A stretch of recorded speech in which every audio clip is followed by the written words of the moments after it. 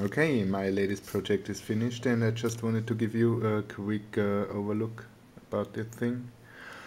Um, it's my uh, adapter IR to USB for my Agilent multimeter and this works just by using a standard photodiode um, that goes into a transient impedance amplifier using an AD822A then it's buffered by a comparator, an LM393 uh, with adjustable uh, sensitivity.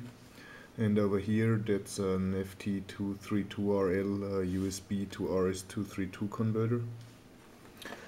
If you turn this around, you see on the multimeter the IR interface and you just plug this thing right on top of here and you see how it properly fits.